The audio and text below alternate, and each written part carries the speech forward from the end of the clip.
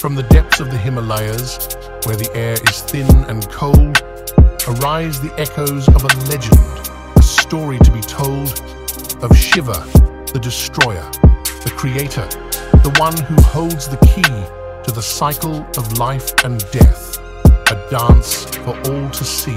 Shiva, Shiva, Lord of the dance, with a body made of ash. His trident pierces through illusion, leaving only truth to grasp. He wears a crescent moon upon his head, a symbol of the night, and with his third eye open wide, he sees through darkness, clear and bright. He rides the mighty Nandi, a bull of strength and grace. His drumbeat echoes through the mountains, a rhythm to embrace.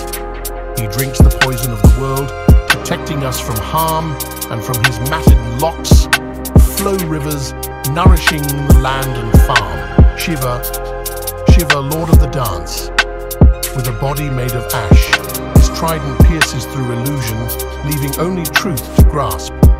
He wears a crescent moon upon his head, a symbol of the night, and with his third eye, open wide, he sees through darkness, clear and bright. He is the destroyer of ignorance, the bringer of new light. He is the embodiment of love, with a passion that burns so bright. He is the dancer of creation, the artist of the soul. He is Shiva, the ultimate truth, filling us with peace and making us whole. Shiva, Shiva, Lord of the dance, with a body made of ash. His trident pierces through illusion, leaving only truth to grasp.